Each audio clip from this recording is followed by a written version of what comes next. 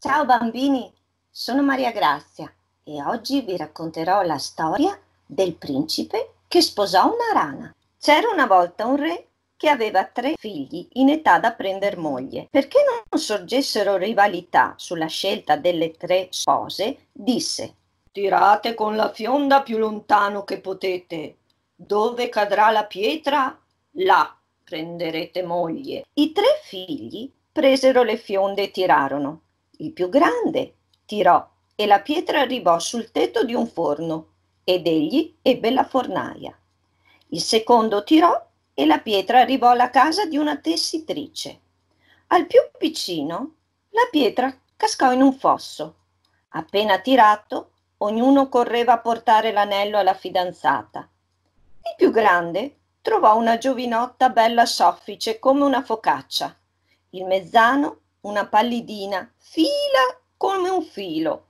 E il più piccino, guarda guarda in quel fosso, non ci trovò che una rana. Tornarono dal re a dire delle loro fidanzate.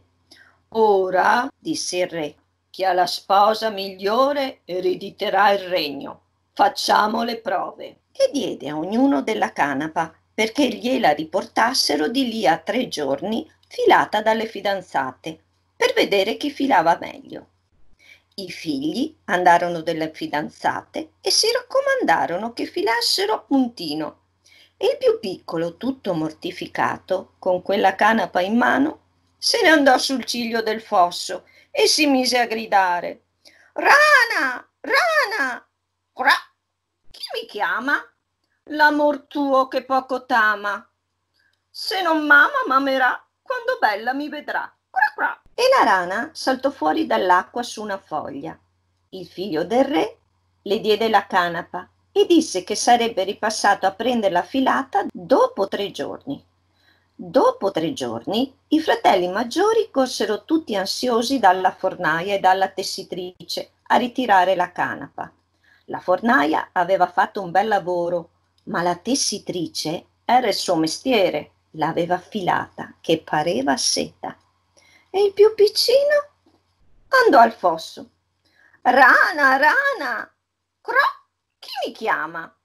L'amor tuo che poco t'ama. Se non mama, mamerà quando bella mi vedrà. Cra, cra.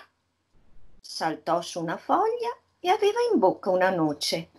Lui si vergognava un po' di andare dal padre con una noce mentre i fratelli avevano portato la canapa filata, ma si fece coraggio e andò.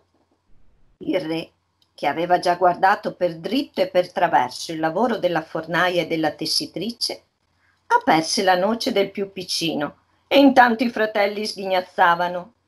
Aperta la noce, ne venne fuori una tela così fina che pareva tela di ragno. E tira, tira, spiega, spiega, non finiva mai. E tutta la sala del trono ne era invasa. Ma questa tela non finisce mai, disse il re. E appena dette queste parole, la tela finì. E il re disse, non c'è dubbio, sarà re mio figlio minore e la rana sarà regina. Furono stabilite le nozze e tutti e tre i fratelli lo stesso giorno. I fratelli maggiori andarono a prendere le spose con carrozze infiorate tirate da quattro cavalli e le spose salirono tutte cariche di piume e di gioielli. Il più piccino andò al fosso e la rana l'aspettava in una carrozza fatta d'una foglia di fico tirata da quattro lumache. Presero ad andare. Lui andava avanti e le lumache lo seguivano tirando la foglia con la rana. Ogni tanto si fermava ad aspettare e una volta si addormentò.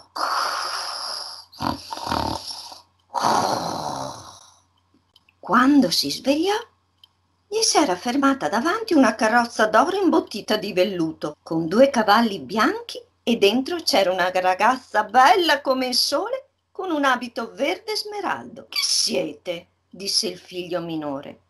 Sono la rana. E siccome lui non ci voleva credere, la ragazza aperse uno scrigno dove c'era la foglia di fico, la pelle di rana, e quattro gusci di lumaca. Ero una principessa trasformata in rana. Solo se un figlio di un re acconsentiva a sposarmi senza sapere che ero bella, avrei ripreso la forma umana. Il re fu tutto contento e ai figli maggiori che si rodevano d'invidia disse che chi non era neanche capace di scegliere la moglie non meritava la corona. Re e regina diventarono il più piccino e la sua sposa. Vi è piaciuta la storia?